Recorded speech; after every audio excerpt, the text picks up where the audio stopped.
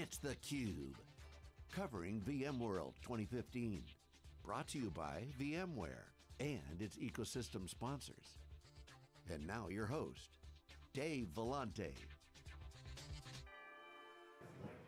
We're back, welcome to San Francisco. We're at Moscone Center in Moscone North. This is theCUBE. theCUBE goes out to the events. We extract the signal from the noise. This is our sixth year at VMworld.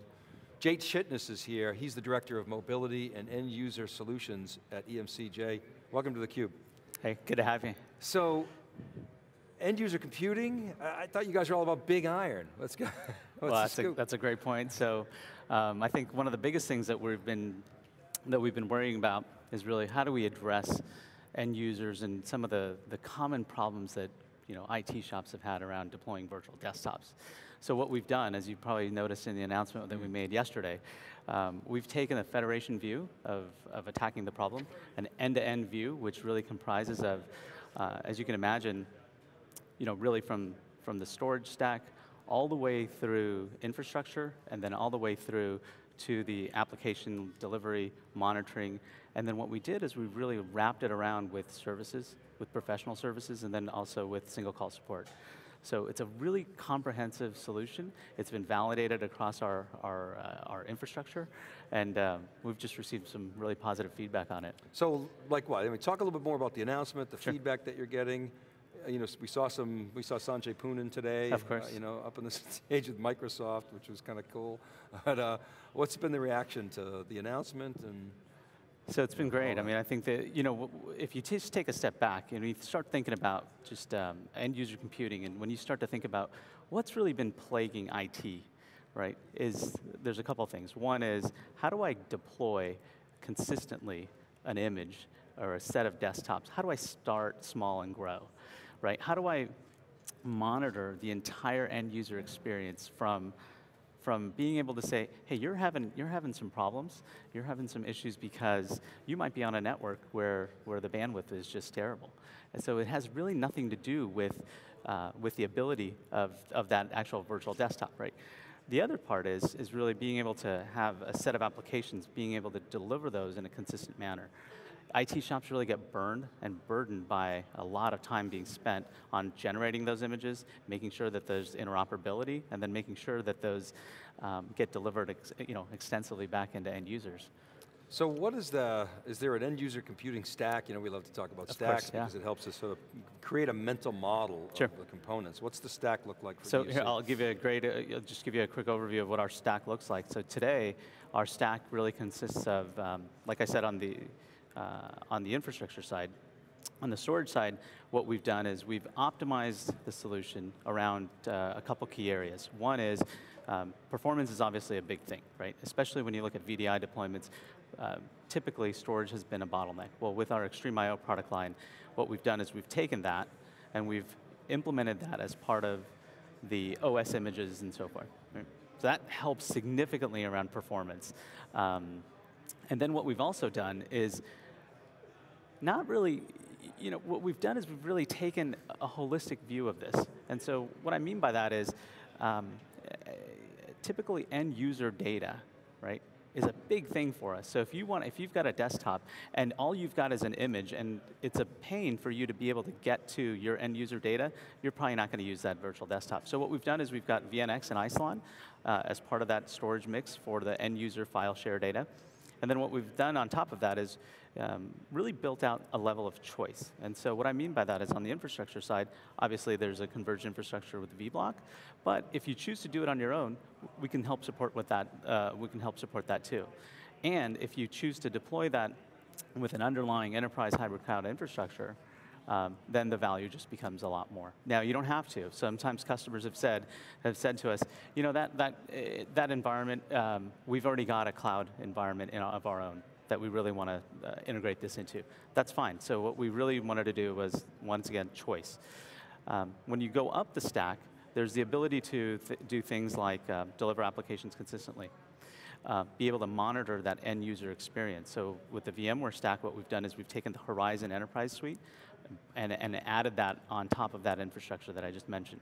And then when you power that together, right, when you bundle all, when you, when you look at how do I combine all that, There's a set of installation services that goes with it, and then also single call support for, for your EUC environment. Okay, so let me make sure I understood that. Sure. Jay. So I got, I got my choice of infrastructure, I got a mix of flash, VNX, I got, I got the file level stuff, so the, Yep. so the scale out file, global file system of Isilon. If I want to go compute, converged infrastructure, I can do that with, with a, with a vBlock. Absolutely. And then you've got management layer, so the sort of application monitoring piece Exactly. top, and then sets of services.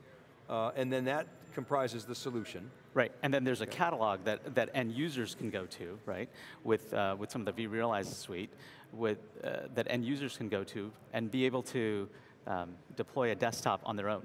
The other thing that we did, right, which was really interesting because, you know, our, our level of expectation today, um, just based on where we're at, our level of expectation is really being able to get something in a self-service manner, I, you know, on the iTunes store, or an app store, or whatever. So what we've done is through that catalog, I can go in and request a desktop for myself. I can go and add in my own custom apps into there, and then those things follow me based on based on wherever I am. So talk more about that, that catalog. I mean, how does that get constructed? What are my options there? Sure. You know, what's in it? So what we did is we, we created, um, um, so this is part of the v, vRealize uh, suite, right? And so what we did is we really looked at what are some of the most common tasks associated with building out uh, virtual desktops, tearing them down, do we recycle them?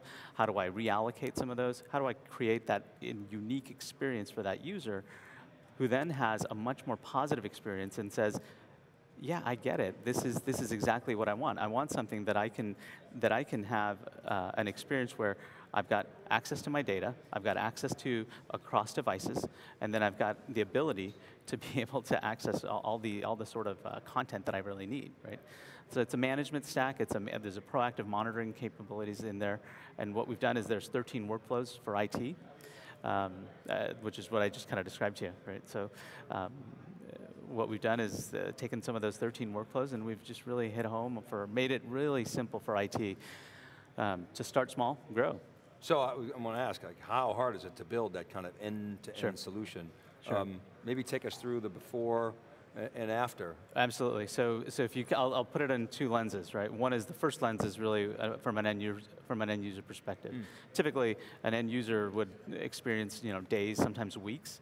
Now this is coming down, and I can go literally go to a catalog, click, click, click, and I've got a, I've got a virtual desktop deployed, and then I can customize that to whatever I need, right? So we don't necessarily presume that you and I have the same set of applications. So you might want to add some of your own. That's great. Um, from an IT standpoint, what we've done is we've really automated and streamlined that entire process of being able to um, define the desktop, define the image, define the applications, and then be able to deliver those consistently. I mean, if you think about patches and patch management, that's such a huge issue. Um, we've really streamlined a lot of that. Now, help me understand sort of the organizational nuances Sure. associated with, like, who do you even sell to? Is it the, you know, the, the desktop people, the end user computing people, the, the network people, the a storage people? How does that all shake out? And how are organizations changing? Let's start with the, the, the first question. I- think there's uh, that's a, I think that's you're, you're hitting on something, right? I mean, I th- uh, these things are morphing and they're blending so much that we don't see a classic buyer being a storage buyer, right? Especially as we start to talk about, uh, as this is a federation solution, what ends up happening is we tend to have a discussion more around what does your app, what does your app story look like? What is the, what does the internal apps look like? Uh, I I heard you say earlier, you know, some of these custom apps are have been sitting around in, in these environments for years, for 10, 15, 20 years. How, we, take a, we take a holistic view of that, and then what we tend to do is, um, this is not a, hey, let me tell you about all the speeds and feeds associated with my storage infrastructure. This is a truly transformation sort of approach, where what we've really tried to do is optimize the experience both on the IT side, and then also on the, uh, on the end user side. So it's not really something where um, I'm going to sell to only the um, the infrastructure person, right? We're, we're really as looking at this more of a what you tend to see is much more of a CTO mobility sort of a story um, that customers are gravitating towards. Okay, and so the, the, the business proposition to that individual is, look, you've got this challenge, you've Sure. got this vision of what you want to deliver, the business value for your organization. We've got an infrastructure component that we can deliver to support that business objective. Exactly. Okay, and so how do you go to market? Is it a direct sales model, or Mm. is it sort of partners, both? So it, it is both. Um, obviously, extensively partnering with VMware, and you know, as part of the federation, we're going to market that uh, um, together. But we also see a significant opportunity where where we jointly go after customers who are who really have the pain point of being able to say, uh, I think I see an opportunity where uh, typically there's a desktop silo, and then those customers then tend to think about how do I then, if I'm going to build out that infrastructure, is there another are there other sets of applications or other workloads that I can put on top of that infrastructure? And so what they're doing is we're starting to see more desktop and applications, those groups becoming much more closer together. Um, I'll give you an example of eHealth. I know you're, you're, you know, eHealth is a great example of a customer. eHealth is, um, uh, just to kind of level set, eHealth is an out, is a, um, they provide managed services and, and, they provide IT infrastructure for, uh, for some of the hospitals in Saskatchewan in Canada. And what they've done is they realized when they started looking at end user computing at the Federation EUC offering, they said, hey, look, we, we really see an opportunity here to consolidate our infrastructure, bring those apps much more closely together so that those end users that are, whoever, whether they be doctors, nurses, whomever, when they're logging into their desktops, they get a much more seamless experience because they're not just looking at the desktop, they're also looking at other applications. So you know, the, the challenge with sort of the old VDI was you, sure. the experience, you, know, it wasn't ever the same, right? But so we're, we're through that now. I but think now, so. But the key you're talking about that's interesting to me is the self-service it is. component of it, that, that consumer experience. And I'm hearing you've achieved that.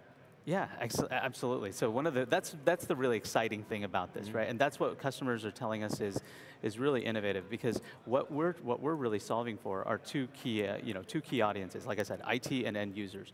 And as you know, if an end user doesn't realize when in that little in that POC when we see typically a small POC, a couple hundred users, right? If you if you don't put your best foot forward there, it's never going to scale. It's never going to catch on to the broader uh, to the broader community. So what we so we wanted to make sure that we optimize that experience and then give the IT staff an ability to start small and then grow quickly to thousands of users. So examples, you know, sure. you mentioned eHealth, um, sort of types of companies that are doing this, um, maybe you know, give us some examples of successes, you know, metrics that you've seen. Sure. Um, so types of companies that we're seeing um, really vary across the board. There's not necessarily a specific vertical. Um, we have seen a lot of in, uh, interest from healthcare, from financial services companies, but it's not necessarily intended to be a, uh, a vertically oriented solution. It really does solve a much more horizontal uh, uh set of offerings. But the, right? but the regulated industries are going to gravitate to it more, right? I think that's exactly right. You know, want that, that level of control. In terms of the solution, What's you know what's the what was the sort of history of it? I mean, sure. When did you actually have this thing baked to go to market? How long did it take to kind of put together? Maybe talk about the sure, sure. It, it, this has been a this has been um, one of the, one of the things that we really wanted to do, as I kind of mentioned, was we really wanted to make sure that this was built based on choice, right? And so, um, if there was some semblance of uh, if, if customers really wanted to be able to have the flexibility in deploying in their own cloud environment, that's great. If they wanted to be able to deploy it with a with a Federation e EHC, great. Um, uh, this has taken months to develop. Um, the, what we've seen and what we've done is we've incorporated customer feedback into the process as we were building the solution, as we were validating it, and then, and frankly, it's just been, it's been awesome. It's been great, and we're seeing a lot of really positive reactions from customers. So, um, in terms of you know, what a solution is sure. inside EMC, I know you guys have a, a solutions group. Sure. Um, you've taken, I mean, it used to be the old kind of, you know, white paper was the solutions right, group, right? right? They really stepped it up.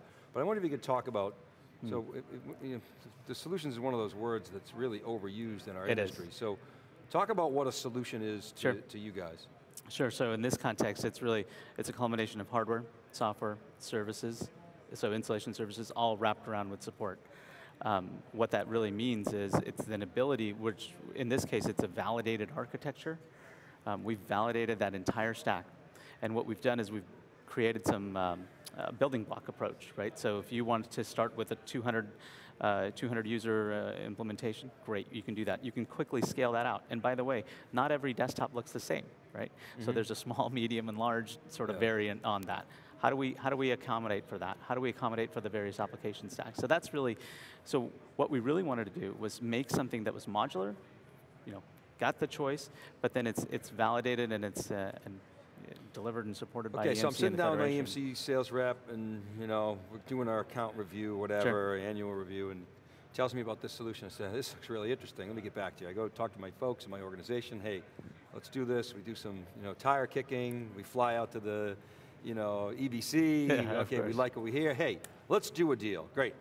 We sign a deal, what happens next? How does it all sort of get adopted, installed, adopted, absorbed into my organization, training, et cetera? So it's a joint effort. Um, it's a joint effort, and it's typically services led. Uh, and so what we do is we, there's an assessment. There's an assessment in terms of what's what's actually in the environment.